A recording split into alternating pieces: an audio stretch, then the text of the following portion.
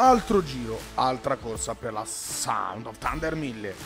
Il poleman Fabrizio Perotti 1.32.5 al suo fianco Michael Lamagni 32.7 a chiudere la prima fila e Cheli in seconda fila Donesana, Galante e Lobartolo e poi Renaudo, Bartolini, Palladino fino a chiudere le 10 in posizione con Lorenzo Voc è il Cremona Circuit, il circuito un circuito così bello e così elegante. 3700 metri di percorrenza per divertirci. A tra poco con la Sound of Thunder 1000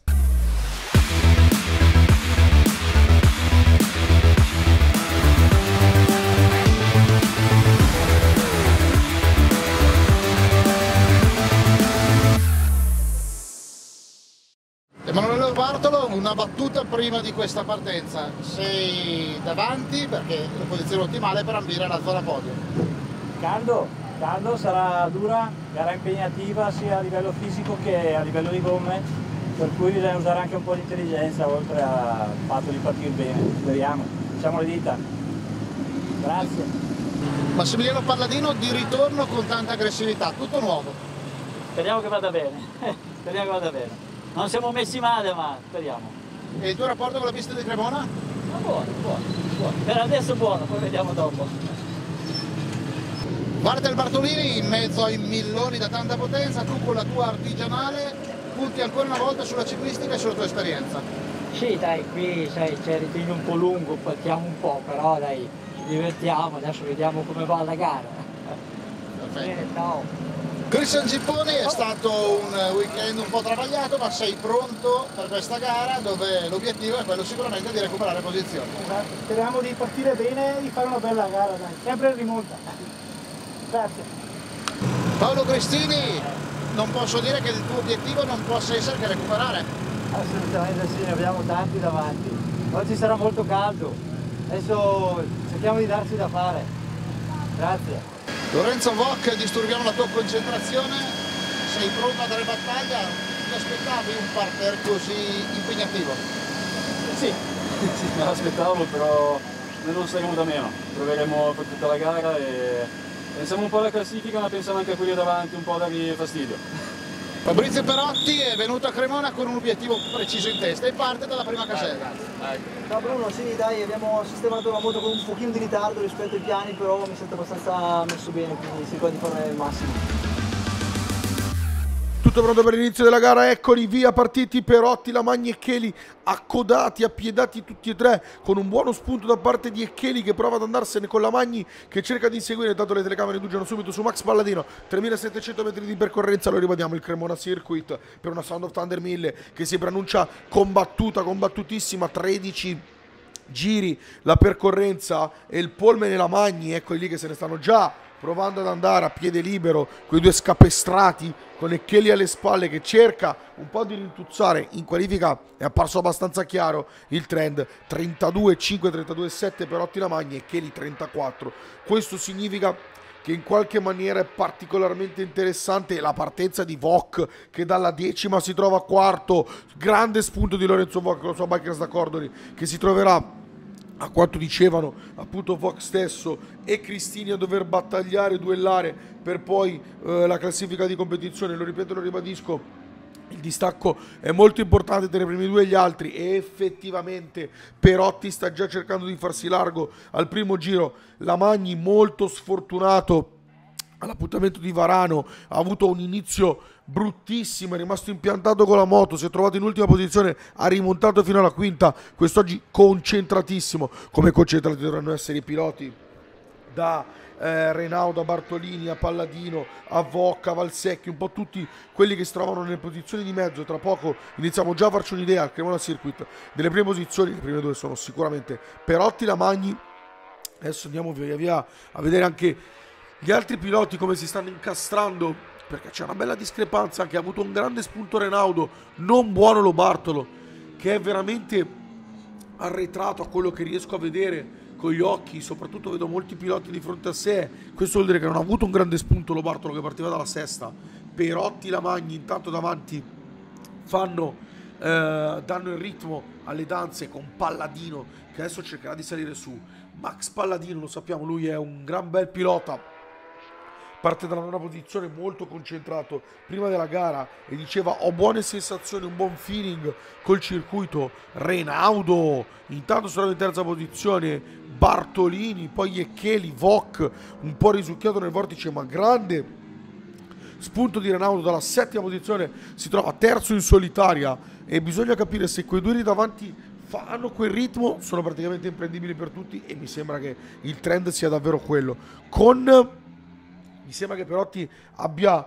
quel piglio, quel fare un po' più sicuro di sé, un po' più deciso, un po' più intrigante da questo punto di vista. Cristian Gipponi inquadrato, partiva dalla dodicesima e Gipponi che non riesce comunque a tenere una posizione rispetto al gruppetto con tutti quanti gli altri. Perotti Lamagni, Renaudo che continua ad avere un buon ritmo e alle spalle si vanno ad incastrare l'opportunità di piloti con Bartolini che è stato scavalcato da Echeli, con Echeli che sta cercando di venire su, Echeli che si trova in terza posizione e anche Donesana che non riesce anche lui un po' impelagato in quel gruppone a districarsi. E ma lo sapete la partenza è fondamentale e qualcuno di loro non ha avuto una grande partenza. Lo Bartolo in primis. Bartolini cerca di inseguire i piloti, lui che è sempre stato il re della Sound of Thunder 1000, ma quest'anno sono tanti piloti, sono belli, forti e agguerriti. E Bartolini se vuole vincere la classifica di competizione dovrà davvero duellare fino all'ultimo. Renaudo intanto sale su. Li stavo guardando tutti con Bartolini che va ad accompagnare, con Donesana che si accoda e ha un certo tipo di abbrivio. 3 giri su 13, è una gara molto lunga, non dovrebbero soffrire le gomme, parlando anche con i piloti ci hanno detto non dovremmo avere una abbiamo una particolare percezione del fatto che le gomme non debbano soffrire o andare in sofferenza durante la gara, però chiaramente ci avvaliamo della, del, del beneficio del dubbio con Cristini che sta avvicinandosi e ha di fronte a sé Alberto Gini. Vediamo se riesce a sfruttare il gioco delle scie per provare a scavalcarlo e per provare ad avvicinarsi a quello che il suo contendente diretto Vocca, detta anche dello stesso Cristini. Completa bene il sorpasso su Gini Cristini. Si prende la posizione 4 su 13. Perotti Lamagni, Renaudo che inizia ad accusare un po' il colpo rispetto ai piloti che lo seguono e che si stanno avvicinando in qualche maniera, anche perché siamo a 4 su 13, anche perché mancano 9 giri, anche perché la gara lì è tutta da scrivere, tutta da decifrare. Eccolo qua Renaudo. E poi via via tutti gli altri piloti con Eccheli un po' con Voc che si trova impelagato con Cristini che sta salendo su in maniera forte dopo aver scavalcato Gini. Eccolo qua, Cristian Gipponi è alla fine di quel gruppone Gipponi e sta cercando di risalire anche lui la china in qualche maniera come può quando siamo praticamente adesso possiamo dirlo a un terzo di gara e la gara si sta districando dinoccolando su dei parametri abbastanza scritti. Perotti la Magni Renaudo però farei particolare e eh, infatti Renaudo è stato totalmente assorbito dagli altri piloti e Bartolini guida il gruppetto dal quinto in su anche se anche Bartolini mi sembra che è bello, bello, bello forzato dai Cheli con Donesara davanti, che ormai ha preso Renaudo e tra poco potrebbe avvenire il sorpasso.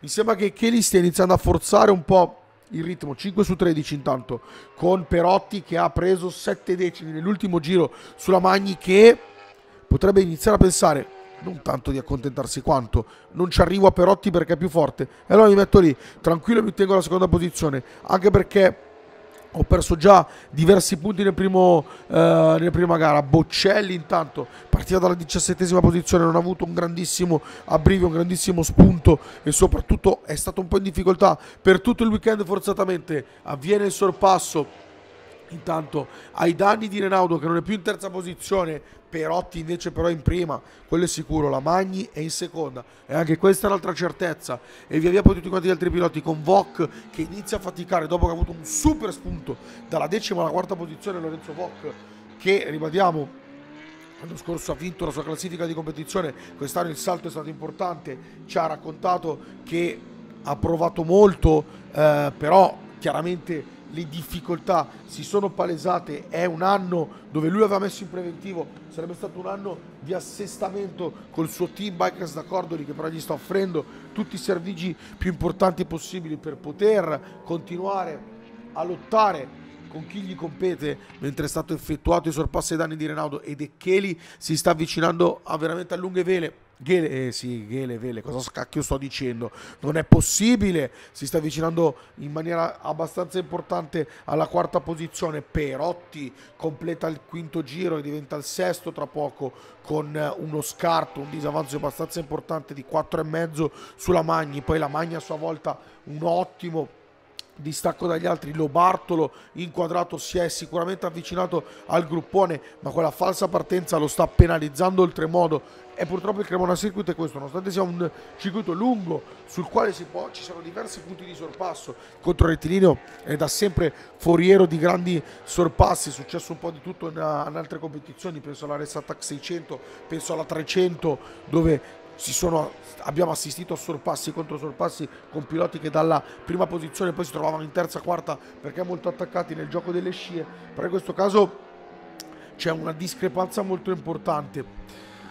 Rinaudo prova comunque a restare lì attaccato a Donesana, sta salendo su e Kelly stanno arrivando su un po' tutti quanti i piloti in maniera eh, davvero importante e si sta formando un gruppone, vedete Gipponi che lo va a chiudere con Boccelli che sta, eh, si è sbarazzato un po' di eh, Corni ad esempio e di tutti quanti gli altri piloti tra cui anche Crosetti e sta cercando di prendersi largo per magari chi, chi lo sa avvicinarsi a quell'altro gruppetto perché comunque ancora non siamo praticamente quasi nemmeno a metà gara. Adesso forse sì perché è il buon Perotti con la Magni che tra poco ultimano il sesto giro vedremo 7 su 13 ma questi due stanno facendo uno sport a parte.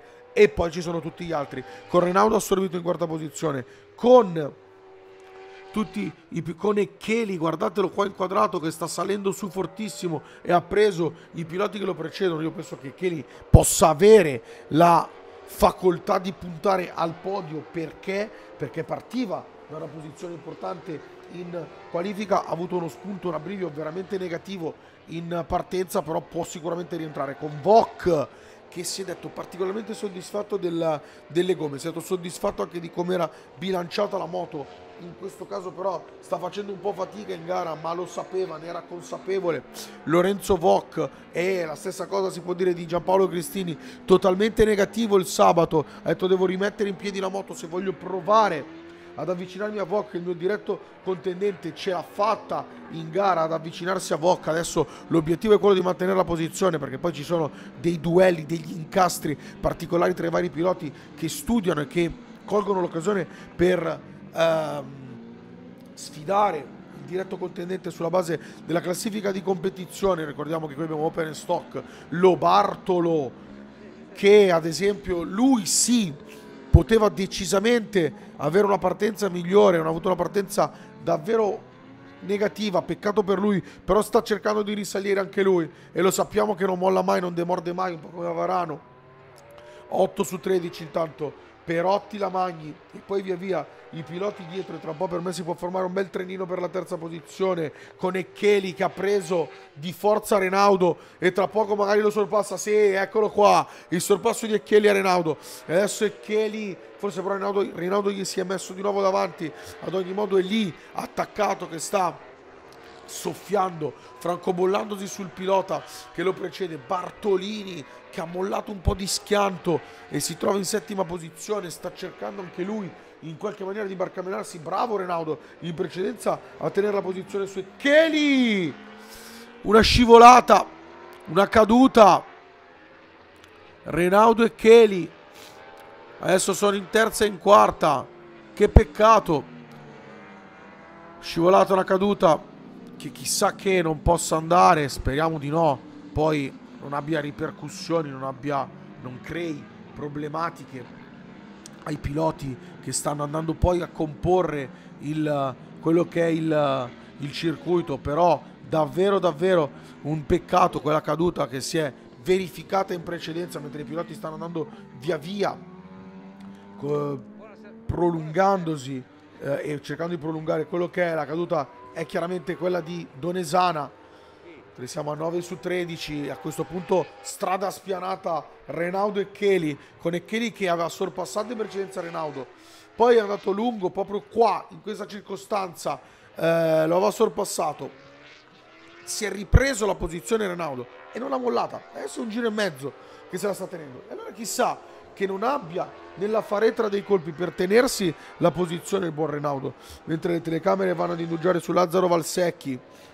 La bandiera gialla perché in precedenza c'è stato quello scivolone che peccato da parte di Donesana che stava facendo una grandissima gara. Cristini Voc sta diventando una gara clamorosa la loro. Se l'erano detto dobbiamo cercare di stare uno davanti all'altro. E in questo caso Cristini non fa passare Voc Voc non fa passare Cristini si sono appiedati accollati uno all'altro chi non si è accollato e chi se ne sta andando via e lo abbiamo capito è Perotti che adesso ha veramente incrementato il vantaggio sulla Magni e non gliene frega niente assolutamente di uh, qualche problematicità che potesse esserci o che potesse essere scorta all'interno del circuito. Renaudo va largo e questa volta Kelly lo beffa e si prende anche un bel distacco. È stato un errore da parte di Renaudo che ha interpretato male. Una curva e si è preso di forza di peso la posizione Vok Vok gli si è fermata la moto praticamente sta andando pianissimo problemi problemissimi per Vok che probabilmente è costretto a ritirarsi. Sì sicuramente si sta andando a fermare sulla ghiaia che peccato altra svolta altro colpo di scena e qui può sorridere chiaramente in maniera non cattiva Cristini perché riesce a guadagnare punti preziosissimi in chiave campionato finale. Intanto Marco Para inquadrato, anche qua Gipponi 10 su 13. Vox si ritira in precedenza alla caduta di Donesana. C'è stato qualche colpo di scena in 1000 eh, Sound of Thunder e vediamo prima il largo da parte di Renaudo infilato dai Kelly che si è preso la posizione che se ne sta relativamente andando via in maniera interessante con Galante poi via via tutti gli altri piloti che stanno ad accompagnare. Cristina adesso è da solo totalmente. Prima era in compagnia di Vok e stava facendo una bella fatica per scavalcarlo. Poi la moto di Vok lo ha abbandonato e adesso è tutta un'altra gara e per Vok e eh sì buonanotte e per Cristini e per i piloti che uh, precedevano e che susseguivano Cristini 11 su 13 Perotti Lamagni mamma mia uno scarto davvero importante. La Magni può anche girarsi in questo caso, ma le, le, le, considerazioni che arrivano dal box sono abbastanza chiare. Stai tranquillo, vai piano, anche perché Perotto è una wild card e la gara è come se l'avessi vinta tu. E allora la Magni chiaramente non forzerà minimamente alcuna scelta galante intanto inquadrato, mentre davanti Renaudo è stato sorpassato in precedenza dal buon Davide Eccheli, è stato un gran bel sorpasso quello di Eccheli complice anche un largo da parte di Renaudo, però bisogna sfruttare le inerzie anche all'interno di una gara e Kelly però si era impiantato lì e stava facendo capire, stava facendo sentire quello che era la sua forza, la sua veemenza, il suo rientro da questo punto di vista al buon Lorenzo Renaudo. Intanto Perotti che tra poco si troverà sul controrettilineo e potrebbe tra poco andare eh, trovarsi vicino all'ultimazione del dell'undicesimo giro per entrare nel dodicesimo, per avvicinarsi a quella che è una vittoria importante per lui in preparazione di altre competizioni, ma dietro infervora la sfida con Bartolini che è stato risucchiato dai piloti che vanno un po' dalla quinta alla settima posizione. Bartolini non è in difficoltà, però non sta avendo il, quelle che sono sempre state le sue performance tra Varano e anche qualche monocircuit, lui a Varano è sempre stato un po' il re di Varano, 12-13, Perotti è scappato, ormai lo sappiamo, lo stiamo commentando all'inizio della gara. Alle spalle un buon, buonissimo Michael Lamagni e poi via tutti quanti gli altri piloti da e Kelly che si è preso la terza posizione, Renaudo, Galanti e poi tutte, un po' via via tutti quanti gli altri li vediamo passare, scorgere con una certa praticità. Perotti che qui qualche anno fa si è reso autore di una gara meravigliosa con uh, il buon Luca Salvadori, poi si dovette arrendere Perotti uh, dalla seconda posizione, ma fu uno spettacolo incredibile quello che misero su questi due piloti.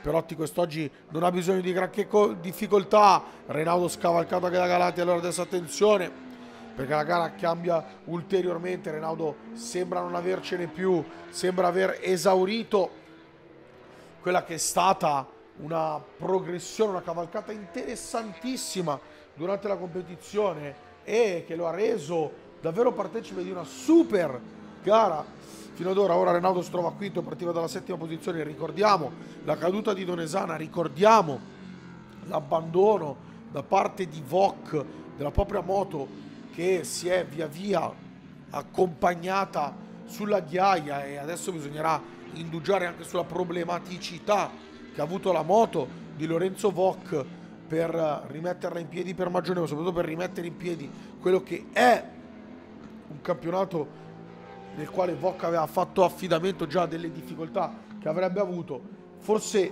particolari difficoltà, nonostante avesse avuto un particolar feeling con questo circuito, last lap, lo leggiamo, con un Perotti sempre in solitaria che ha comandato alle telecamere che indugiano su Davide Cheli che si è preso la terza posizione, eccolo qua, Massimiliano Boccelli, Massimo Boccelli, che ha, è stato autore di un'ottima gara, un po' come Max Palladino nelle retrovie che si è preso via via diverse, si è, si è, si è fatto largo, spadroneggiando, cercando di andare a divincolarsi con altri piloti. Eccolo e Cheli, eccoli via via i piloti che passano con Renaudo in guida posizione che ha avuto un ottimo spunto, un ottimo brevio in fase iniziale e poi Crosetti, eccolo qui che sta andando ad ultimare quello che è il suo dodicesimo giro prima dell'ultimo e poi Perotti che davanti è stata una cavalcata solitaria e forse al quarto giro c'è stata davvero una discrepanza che poi non ha più permesso a nessuno. Bartolini davvero un po' in difficoltà. Walter in questa tappa quella del Cremona Circuit Gipponi inquadrato e tra poco Perotti che sta andando ad ultimare il controrettilineo potrebbe scrivere e a scrivere il suo nome per quanto riguarda la vittoria finale. Eccolo qua, super!